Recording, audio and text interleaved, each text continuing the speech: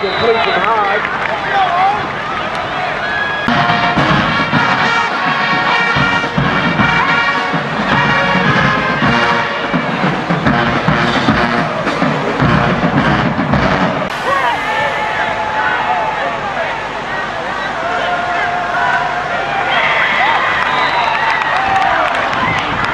On the